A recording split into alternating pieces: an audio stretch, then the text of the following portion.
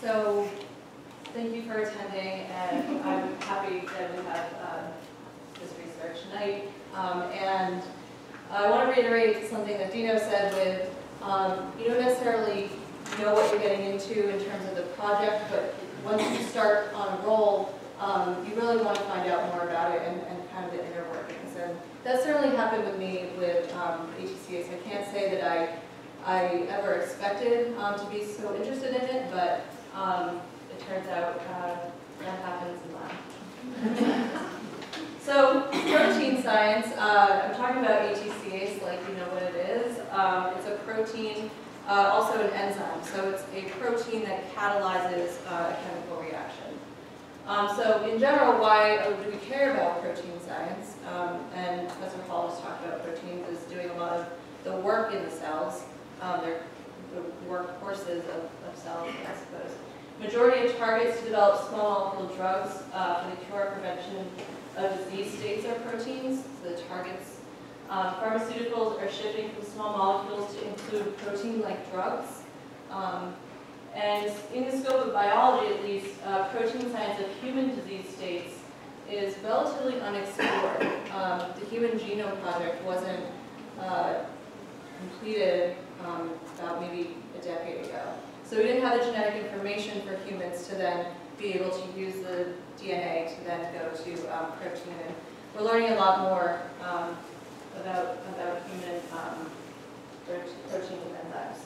So ATCase, uh, the long version of this word is aspartate trans carb carbamylase.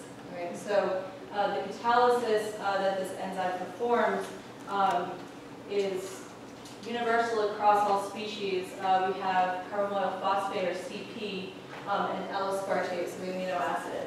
Uh, and we have attack of carbonyl carbon, we can form a tetrahedral intermediate, and then collapse of the oxyanion now releases um, inorganic phosphate and carbamyl aspartate, or CA.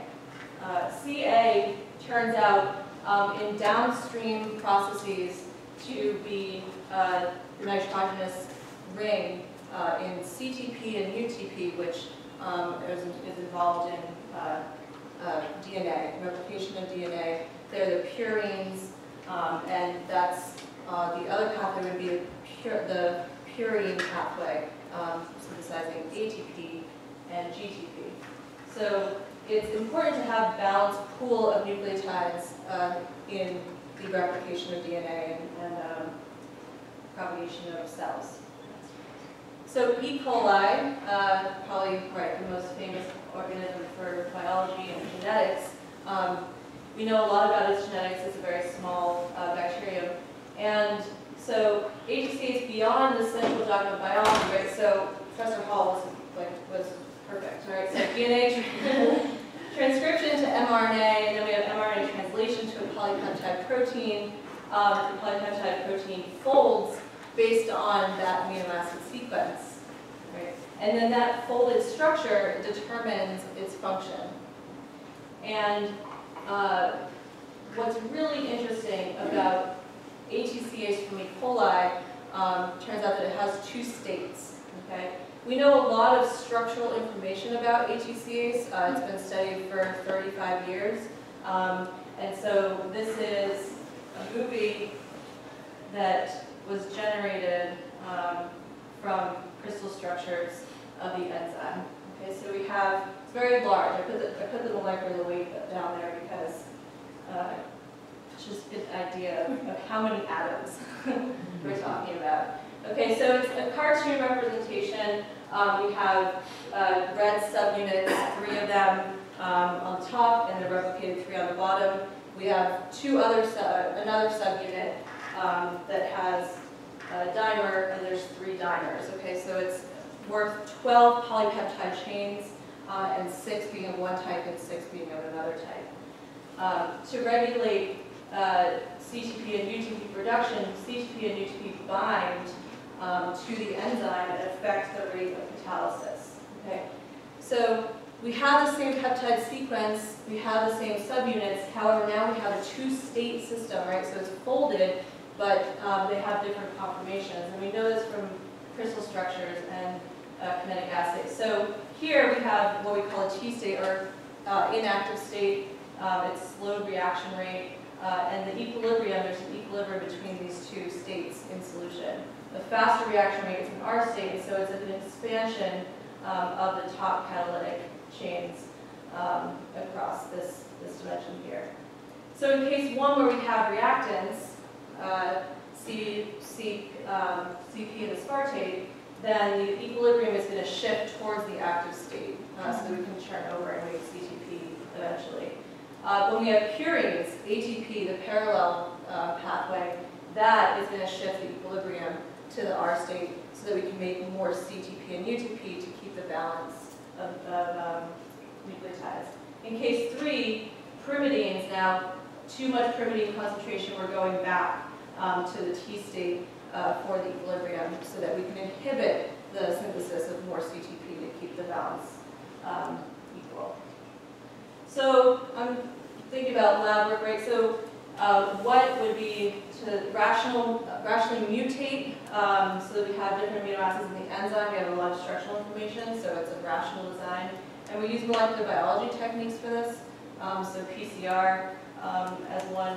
And what else do we consequence of mutations on the function of the enzyme? So how would we determine the consequences? Um, enzymatic assays, so we can look at um, kinetic profile. Um, also, what consequence of mutations on the structure? Uh, so a lot of that work um, would be done using X-ray diffraction, um, and that can be, that's outsourced. Um, and uh, Brookhaven and also at lab in Berkeley um, can do those, those uh, a lot of, a lot of equipment you need for that. So also for lab, I was thinking about um, the lab culture. Uh, so I like streaming Pandora, um, WRS out of Boston. Um, so you get the whole thumbs up thing. I'm not going to do each one. Uh, being constructive, uh, so Kristen could attest to, uh, we've made a shoebox light blocking assay um, equipment. So also um, making strip PCR tubes, these are little tiny tubes that needs to be in strips. We didn't have them, so we started taping them together. So this is kind of the stuff that we do on the day-to-day -day, um, and that I enjoy doing, and, and I think, um, as well. Uh, delicious beverages, uh, personally I like iced chai. Um, that was also uh, part of lab culture, at least for me. Physical exercise, personally yoga. Um, it's not everyone's thing, but. Computers, uh, personally Mac. We use a lot of computer, computer software uh, in designing um, primers or, or in the, uh, conversing about Breaking Bad. Uh, personally, conversing about Breaking Bad. Uh, Um, and so overall, we're, we're seeking to understand the atomic levels um, of regulation for this enzyme. Uh, here's our, our uh, regulatory subunits as a dimer, and I blew it up here. What's interesting um, is these hydrophobic amino acids. Uh, you can't see them because this is a ribbon diagram, so it's a really simplified version of all the atoms. Um, but this, this region here is of, of great interest um, and somehow is, is working uh, with the enzyme its regulation. so if you have questions, um, I love questions.